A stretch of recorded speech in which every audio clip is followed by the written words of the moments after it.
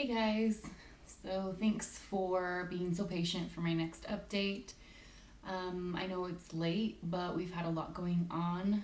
Um, I got some interesting results um, about my kidneys.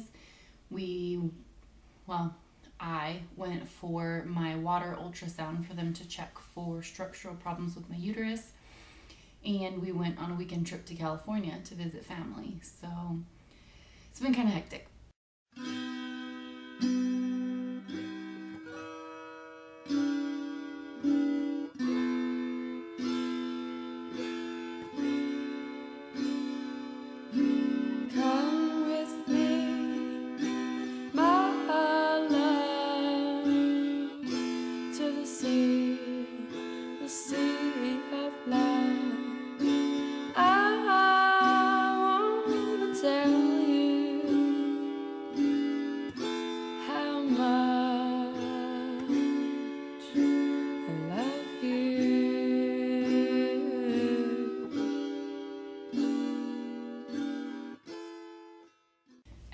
Last Thursday, so a week ago, for the water ultrasound, and I didn't really know what to expect, but I wasn't super nervous. And normally I'm the Google queen, so I usually look up everything about it before I go in for anything.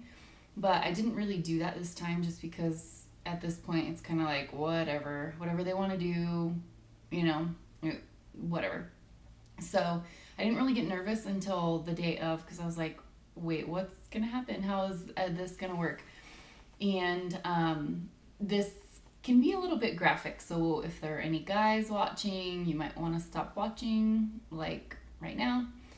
Um, but they asked me if I had any questions before it started, and I was like, well, how does the water come out? And they kind of laughed, and I guess it's a funny question, but they were just like, well, it just kind of trickles out like a period. And I was like, okay, that's kind of weird. Um, but what they did is they used the speculum. Um, and my favorite way to kind of animate that is so it looks like a duck beak and you know just kind of opens.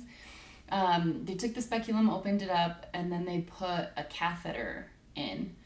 Um, and I was telling my husband about the catheter, and he was just like, ugh. But I, I, was, I think he was thinking that, you know, as far as like urine and catheter going through your urethra to your bladder, and I was like, no, um, it's not like that. So the they put the catheter in, and on the other end of the catheter, they had kind of a, a long, fat syringe thing filled with the water. Um, they put the catheter in. They told me that was going to be the most painful part, but I, I mean, it was fine. I didn't. That part was fine. Um, and then after that, they used the ultrasound wand. So for a transvaginal ultrasound, um, they put that in, and by then it was kind of crowded in there, but it still didn't. You know, I didn't really feel. I mean, it was fine. Um, and he turned the screen so that we could both see it, and then the nurse um, started pushing the water in through the catheter, and I could see it on the screen. You know, my uterus expanding, and it looked pretty cool. Um, and then, you know, he kind of looked around a little bit and it wasn't very long, but he said everything looked perfect. There was nothing, nothing wrong. Um, and he, so he said that's good news. Nothing is wrong, but it doesn't help with any more answers for why I could be having multiple miscarriages. So, you know, he was done looking. He looked at my ovaries as well. And, um, when he was finished, you know, and they took the catheter out, that's the part that really hurt.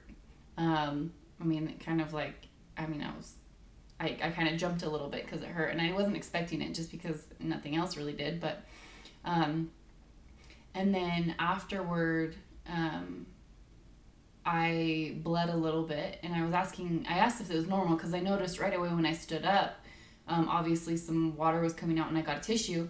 Um, and I noticed the blood, so I asked them if it was normal, and they're like, "Oh yeah, well, you know, we kind of aggravated, you know, inside there." So um, I bled a little bit, but just for the rest of that day. Um, so that was fine. And after that, I mean, I didn't really feel like it was a tiny bit crampy, but it was no big deal. Um, And then I told him about the kidney results that I got. Um, we did a medical exam for life insurance, and the tests for my kidneys came back really bad. Um, I mean, it was kind of scary. And I knew in the past that I had kidney problems. Um, my test came back with high protein in my urine, and one of my nephrologists in California did tons of tests. She couldn't figure out a reason why I would, why that would be happening. And so she basically, you know, said that the only explanation is that my body's really sensitive to ibuprofen. And when I was popping ibuprofen like crazy before I was diagnosed with migraines, that you know I kind of caused a little bit of kidney damage. You know, that's the only explana- explanation that she could come up with.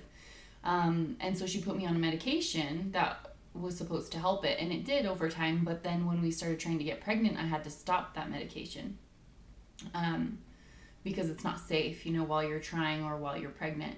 So um, when we got these last results from the life insurance, um, that kind of, and I had forgotten all about it through everything that we've been going through.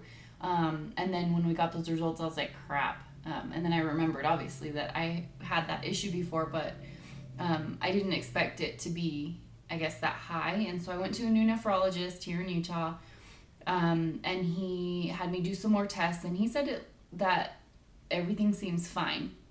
So, um, anybody else that didn't have those issues previously, it could be like, okay, the test was, you know, it was, it was wrong. It was a false test.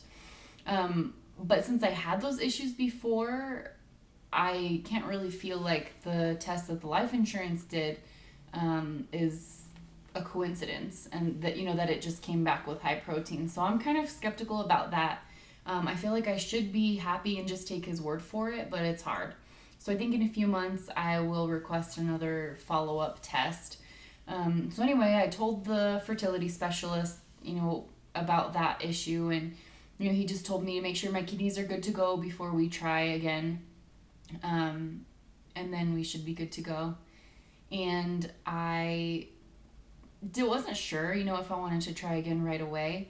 But the more I thought about it, I, I just don't want to wait any longer. And he told me, you know what, once I know the kidneys are good, um, you know, start trying again.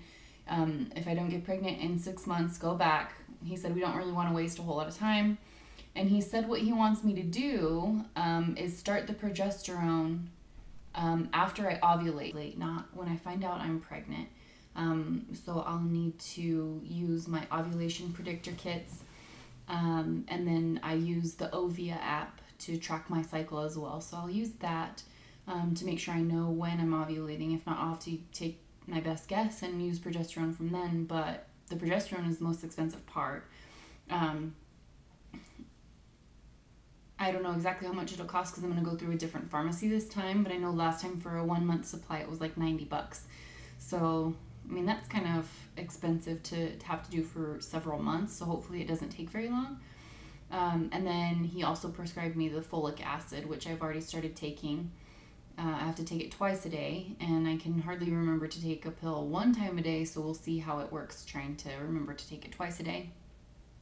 Um, but other than that, um, I just don't really want to wait to try anymore. So um, we'll see how long it takes. And, um, you know, even if I got pregnant right away, I would still have plenty of time to be able to go to Jamaica in April because my brother is getting married there at the end of April.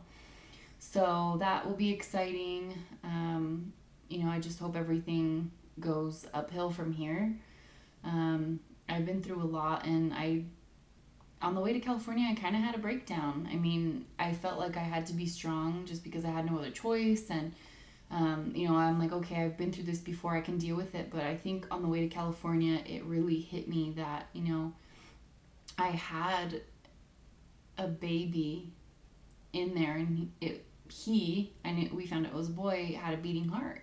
Um, and it was just overwhelming at that point. And I bought the soundtrack for The Fault in Our Stars for the road trip there and the movie's sad soundtrack is kind of sad um, but i really like it and i mean i don't know if that had anything to do with it but listening to it um, you know i happened to be listening to it when i had that breakdown so who knows um, but i'm pretty hopeful i'm glad that the doctor has ruled out everything else pretty much besides the progesterone thing and the folic acid, you know, the genetic mutation I mentioned in my last video.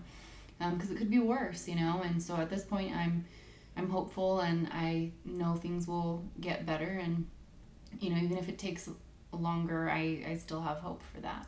And I'm grateful for you guys for watching and if you have any recommendations or um, you know, questions, just let me know. And other than that, I will update you as soon as anything else happens. Hopefully, next time that I'm pregnant. So I'll see you guys later. Thank you.